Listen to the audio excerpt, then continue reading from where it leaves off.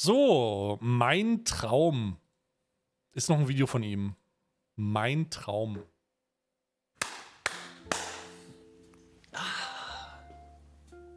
Oh. Oh.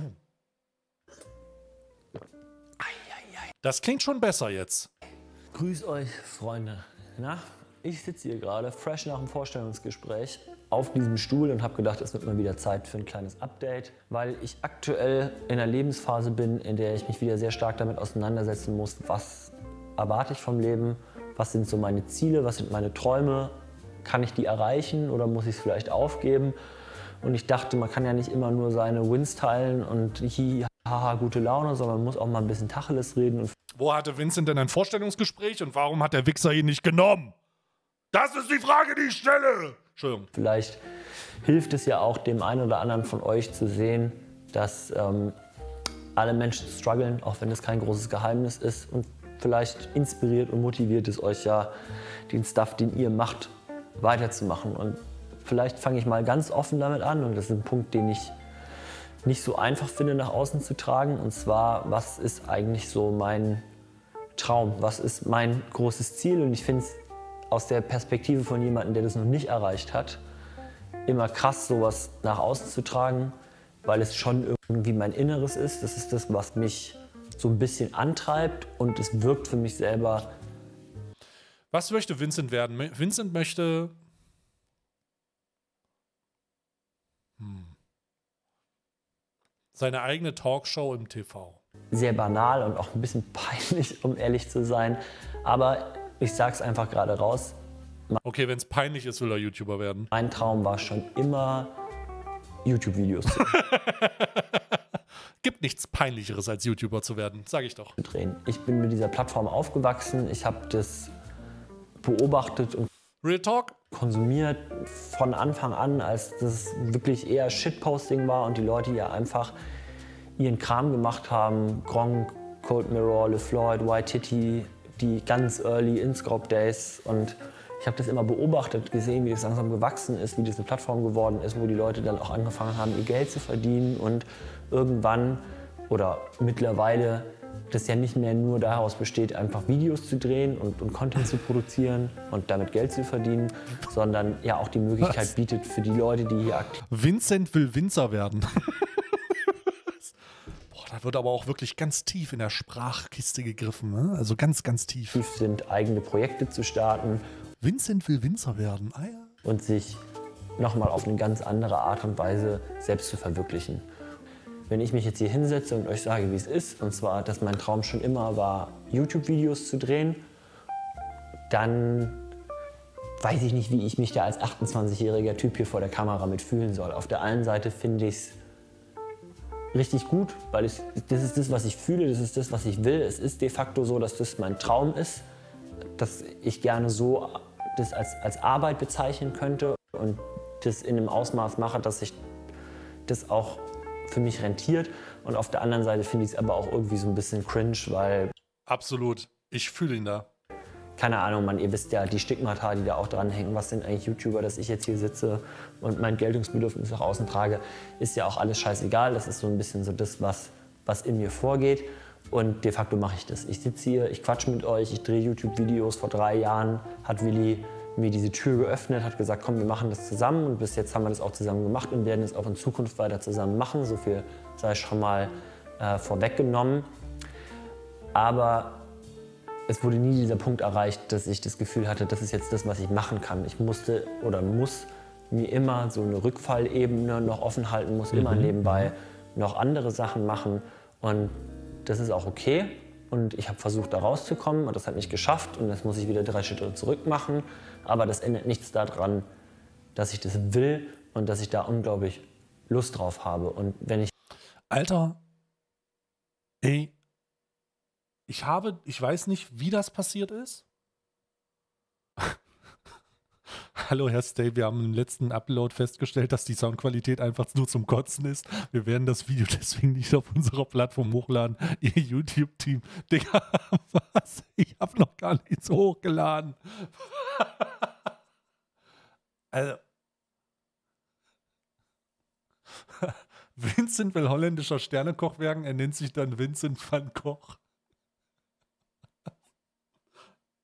Ey, jetzt reiß dich doch mal zusammen jetzt hier. Ey, sowas passiert. Also Menschen machen Fehler und ich bin auch nicht von allem mit allen Wassern gewaschen. Weißt du, so ist es. Wenn ich jetzt davon rede, dass ich gerne YouTuber sein möchte, dann meine ich damit nicht, dass ich dadurch reich werden will. Ich brauche nicht viel Cash. Ich will meine Miete zahlen und was zu fressen auf dem Tisch haben und dann ist es auch in Ordnung. Und vor allem, und das ist das, was mir am wichtigsten ist, will ich diese Freiheit haben, die einem YouTube gibt. Die Freiheit, eigene Projekte zu planen und umzusetzen, Videos zu drehen, auf die ich Bock habe, euch zu unterhalten mit den hässlichen Geschichten, die ich erzähle, weil mir macht es Spaß. Ich bin ein Clown. Ich war ein Clown schon immer und ich werde auch immer ein Clown sein. Ich bin ein komischer, extrovertierter Typ, der ein bisschen übermäßigen Geltungsdrang hat. Die perfekte Voraussetzung, um YouTuber zu werden. Das ist geil. Das ist genau das braucht YouTube. Das ist mein Ding. Ich gehöre hierhin. Das, das ist es einfach. Und mir macht es unglaublich viel Spaß. Und ich bin, auch das muss ich noch mal sagen, unfassbar dankbar dafür, dass jetzt gerade mit dem neuen Channel die Videos so gut geklickt werden. Und das ähm, gibt mir Hoffnung und Vertrauen da rein, dass das Potenzial hat und ich vielleicht irgendwann an den Punkt komme, diesen Traum zu erreichen. Es gibt noch, also so wie ich das verstanden habe, gibt es noch einen anderen Kanal, den die irgendwie, der irgendwie mit seinem Kollegen hat. Und ich habe gehört, das ist Willi. Es handelt sich hier aber sicherlich nicht um SS Willi, oder? Wieso sehe ich Justin und Stay in einer Person? Lol, jetzt sehe ich es auch.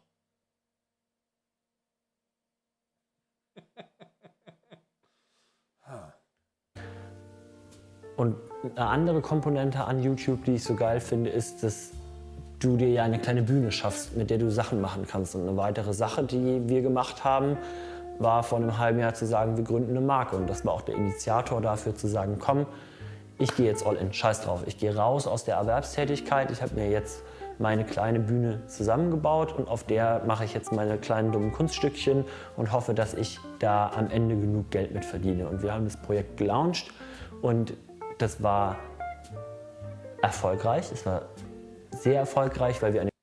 Warum, wird denn so, warum denn sonst wäre Prozess mit SS geschrieben?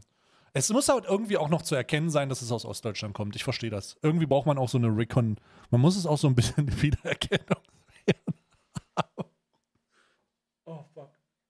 An den Punkt gekommen sind, dass wir alle unsere Kohle wieder rausholen konnten. Ähm, und kein Minus damit gemacht haben. Das ist, glaube ich, mehr, als man erwarten kann mit Ouch. einem Klamotten-Start-up, was in Zeiten von Inflation und Krieg und einem sehr gesättigten Markt an den Start geht. Aber meine sehr naive Erwartungshaltung war eine andere. Und das ist, glaube ich, das, was am schmerzhaftesten war für mich, dass ich sehen musste, dass dieses Projekt, was ich da gestartet habe und die Arbeit, die ich da reingesteckt habe, dass ich an so ein Skillcap gestoßen bin und das zu Teilen jenseits meiner aktuellen Fähigkeiten liegt. Das sind so viele Sachen, die ich noch lernen muss, so viel, was da auf mich zukommt und ich habe mich einfach verschätzt. Ich habe gedacht, das ist easy, mein Ego, ich mache das, sechs, sieben Jahre Berufserfahrung. Ähm, im Marketing, ich habe hier einen ganz schönen Gründerfreundeskreis und so, das wird schon alles, das kriege ich auch irgendwie hin. Und es hat ja auch einigermaßen funktioniert, aber eben nicht so, wie ich es mir vorgestellt habe. Und jetzt bin ich an dem Punkt, dass ich zwei sehr große Träume habe, die ich nicht aufgeben will, wo ich gerne weiter daran arbeiten wollen würde, aber auf der anderen Seite diese Träume auch im Rahmen meiner Lebensrealität platzieren muss. Ich muss Miete zahlen, mich sozial versichern und diesen ganzen anderen Kram, der da halt so auf einen zukommt. Und dementsprechend heißt es für mich, nachdem ich vor einem Dreivierteljahr gesagt habe, ich bin raus und bin jetzt selbstständig. Bist du wieder zurück? Zurück in die Erwerbstätigkeit. Oh, krass. Ich muss mir einen Job suchen und wieder arbeiten gehen. Oh, um ehrlich zu sein, fühlt sich das für mich schon ein bisschen nach einer Niederlage an. Es ist halt einfach eine hard-to-swallow-Pill, dass ich jetzt hier sitze und sage, ich habe ein Projekt gestartet und ich habe mich damit übernommen und überschätzt und das hat einfach nicht so funktioniert. Aber auf der anderen Seite denke ich mir, ey, irgendwie ist auch geil. Ich, ich weiß auch nicht. Irgendwie hat so dieser erneute Lowpoint, an dem ich angekommen bin, auch was Positives. Ich habe es gemacht, ich habe was gestartet, ich bin unglaublich stolz drauf. Jetzt hier auch mit dem neuen Kanal, wo ich euch hier gerade so bedeutungsschwanger voll sabbel, ist ja auch so eine Sache, wo ich sage, geil, jetzt habe ich hier meinen eigenen kleinen YouTube-Channel, der parallel zu Willi und Vincent noch so ein bisschen läuft, kann da so meinen Kram machen und das ist ja auch schon mal was, das ist ja auch schon mal viel wert. Und let's get it. Die Zukunft wird zeigen, es ist okay. Gab ein paar Schritte zurück und die nächsten Schritte, die erfolgen, die werden alle wieder nach vorne sein. Und so ist das Leben. Man kann nicht immer nur gewinnen. Irgendwann kommt der Punkt, wo man auch mal wieder auf die Schnauze fliegt und dann muss man sich wieder aufrappeln und sagen, man macht weiter. Und Gott bless, ist es nicht das erste Mal in meinem Leben, dass mir das passiert. Und ich habe die Zuversicht und das Urvertrauen in mich selbst und die Leute um mich herum und auch in euch, dass das alles was wird. Und weil ich jetzt gerade gesagt habe, auch in euch, und das soll jetzt nicht so cheesy klingen, aber ich meine es komplett ernst, vielen Dank, dass ihr euch die Videos reinballert, dass die so gut bei euch ankommen. Dafür, dass es ein neuer Kanal ist, finde ich das schon wirklich crazy zu sehen. Das ehrt mich sehr und das ist das, was mich leben lässt. Also es gibt mir richtig viel Energie, Motivation und Kraft, dass ich irgendwie sehe, geil, ich mache jetzt hier was und die Leute ziehen sich das am Ende rein. Das finde ich top, finde ich richtig nice. Deswegen schaut. Man könnte jetzt sagen, er kommt aus Ostdeutschland, äh, Ostdeutschland er kennt sich mit Scheitern aus. Das wäre aber gemein, aber irgendwo auch wahr. Shoutouts an euch. Ich bin gespannt, äh, wo mich mein Leben noch hinführen wird. Ob ich meine Träume und Ziele irgendwann erreiche. Jetzt habe ich es gesagt. Vielleicht wird es auch alles nichts und dann ist es okay. Dann sitze ich halt irgendwann wieder im Büro und mache da meinen Kram. Dann soll es halt so sein. Aber ich will es auf jeden Fall versuchen und freue mich über jeden, der mich auf meinem Weg begleitet. Ich kann euch gerne immer mal so kleine Updates geben, wie es so, es so läuft. Aktuell bin ich, wie gesagt, in meiner Orientierungs- und Neuerschaffungsphase, nachdem ich die letzten Monate ganz schön gehampelt wurde, mal wieder auf den Boden der Tatsachen zurückzukommen. Ist okay, ist auch schön. Und auch an euch natürlich viel Kraft bei euren Projekten. Das, das ist halt so. Manchmal fühlt es sich so an, als würde es nicht laufen und dann fliegt man auf die Fresse. Aber dann geht es auch wieder weiter. Wichtig ist einfach nur, Sachen zu machen und vielleicht kommt früher oder später der Tag, an dem sich das auszahlt. Man weiß es nicht.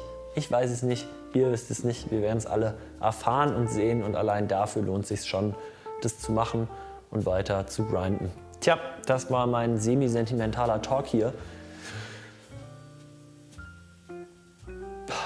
Kompletten Schlag